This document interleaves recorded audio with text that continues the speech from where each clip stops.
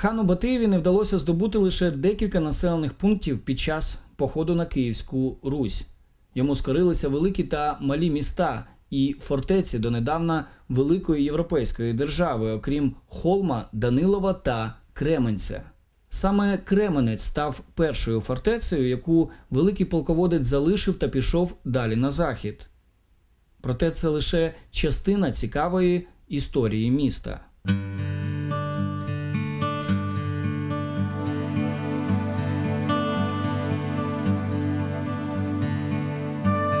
Прогулюючись старовинним Кременцем нині, потрапляєш у захоплююче військове та романтичне минуле водночас. З одного боку, споруди бувшого Волинського ліцею повертають у 19 століття, а з іншого гора Бона із залишками укріплень нагадує про давні часи Київської Русі та Великого князівства Литовського. Історія переплетена з легендами, а романтика давніх споруд із гірськими пейзажами. Воно має дуже багату природу, воно має багату історію. Причому ця історія не містечкова, не така, яка цікавить тільки місцеве населення тих, хто тут мешкає. Тому що тут перетинається історія українська, історія литовська, історія польська, історія єврейська, певною мірою історія російська. І тому зрозуміла річ, що до Кременця приїжджає багато відвідувачів. Місто постійно привертає до себе, привертало привертає до себе увагу людей завдяки своєму минулому і своєму сьогоденню.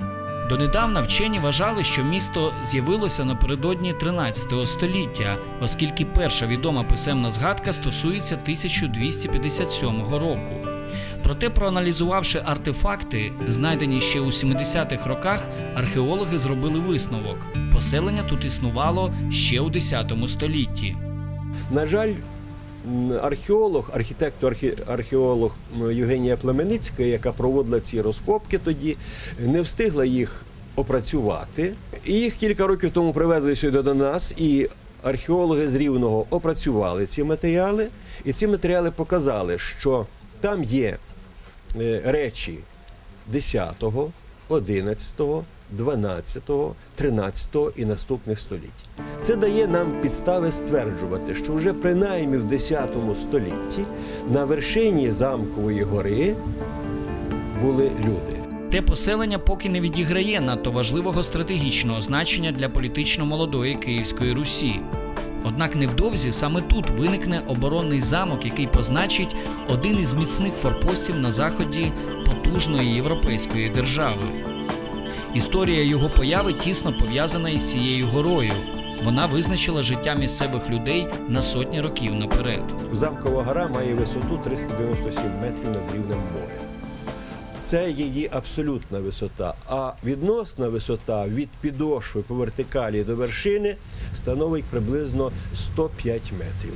В одному із описів Кременецького замку середини 16 століття зазначено, що з лука дострелити неможливо. Замкова гора не найвища в Кремінці. Найвища точка Кременця має понад 400 метрів, і це в іншому місці, з протилежного боку тої долини, в якій розташоване наше місто. От. Але е, саме замкова гора найбільш зручна була для будівництва оборонних споруд. Це гора мисоподібна, видовжена е, в вигляді довгого мису і дуже круті схили. Єдиною проблемою людей, що колись оборонялися на цьому височенному пагорбі, була відсутність питної води. Разом з тим, замок залишався неприступним для багатьох воєначальників. У грудні 1240 року монголи штурмом здобувають Київ та рухаються на Волинь. Перед успішним військом по черзі падають великі міста. Батий підходить до Кременця та зледенілої замкової гори. Тутешня фортеця стане першою, яку не покорить талановитий полководець. Чи це була безуспішна облога, а можливо, Батий пошкодував своє військо взимку, невідомо. Беззаперечним являється факт, що замок, як і під час штурмів іншими військами, завжди залишався незайманим чужинцями. Монголи рушили на Русь, на, на захід Русі, на Волинь, зокрема, і підійшли до Кременця. І Кременець став першим на шляху монголів із Азії в Європу оборонним пунктом, який вони не здобули. Таких пунктів було всього лише три: Кременець, Данилів і Холод. Кременець був першим. Про це літопис повідомляє дуже коротко, дуже лаконічно, практично пів рядка в літописі. Побачив, що неможливо взяти, і відступив. Кременець стандартне фортифікаційне місто Київської Русі. На горі розташовувалися оборонні споруди замку, а у підніжжі проживали купці, ремісники і торговці. Населений пункт завжди був важливим економічним та стратегічним пунктом регіону. Тут був соляний е, шлях. Що таке сіль? Сіль це стратегічний продукт на той час. Та й, та й будемо казати до певної міри і зараз. Е, в Кременці зберігалися, були склади солі. І е, цими складами е, з цих складів розходилась сіль по всій е, Волині і, можливо, і далі. Кремінь стояв на такому ну, роздоріжжі. Керманичі замку у різний спосіб прагнули вирішити проблему з нестачею води. У мирний час люди вручну доставляли відра на високу гору, що перетворювалося на справжнє випробовування. Це була чи не єдина ахілесова п'ята на тілі успішного міста. Колодязь спробували робити за межами замкових мурів, але до води не вдалося добратися, оскільки сама будова замкової гори така, що там суцільні скелі доводиться прорубувати. Потім була спроба прорубати колодязь уже на території самого замку. От, і е, там теж до води не добилися. Хоча його прокопали на досить таки, прорубали в скелі на досить таки велику висоту, на велику глибину. От, і е, це, е, це заглиблення просто використовували для зберігання дощової води. У середині 16 століття великий литовський князь дарує Кременець та навколишні землі своїй дружині Боні Сфорці. Вельможна пані облаштовує замок та добивається ряд привілеїв. Разом з тим, як вважають науковці, вона ніколи не була у місті. Проте кременчани відмовляються у це вірити. Перед Боною у місті господарює позашлюбний син короля Янош. Існують документи, які засвідчують його присутність тут. Він зміцнює замок та ініціює спорудження вищезгаданого колодязя. Інтригуюче минуле Крем'янця пов'язаний з дружиною короля.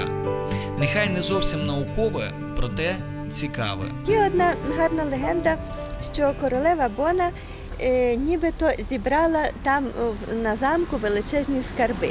І тепер її душа, не знаючи спокою, ходить по цих мурах і пильнує своїх скарбів. Один раз в рік ем, є оказія їх е, здобути.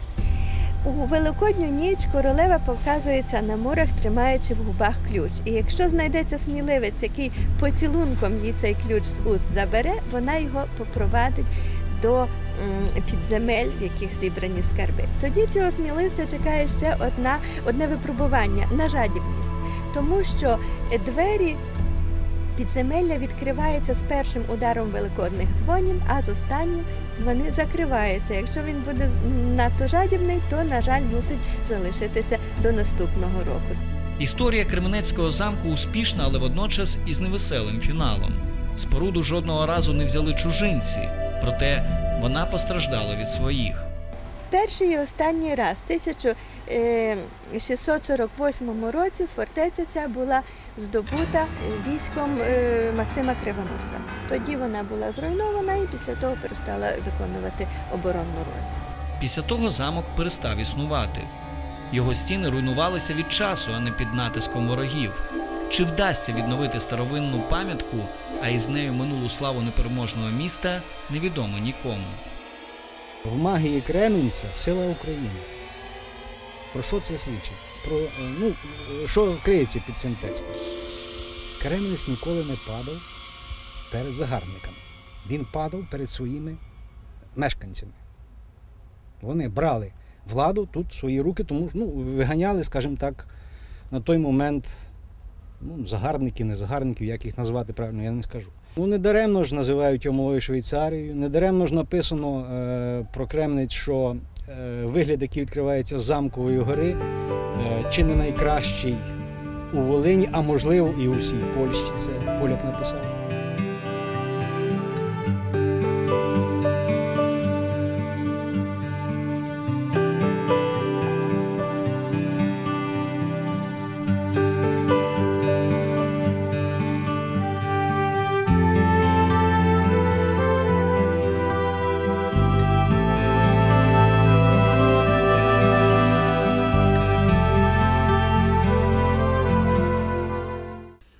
Кременець невід'ємна частина історії волинських земель. Класичне середньовічне місто, яке перебувало на перетині важливих торгівельних шляхів, колись починалося зі звичайної оборонної фортеці, а у 19 столітті стало потужним освітнім та інтелектуальним центром. Але це вже інша сторінка минулого міста.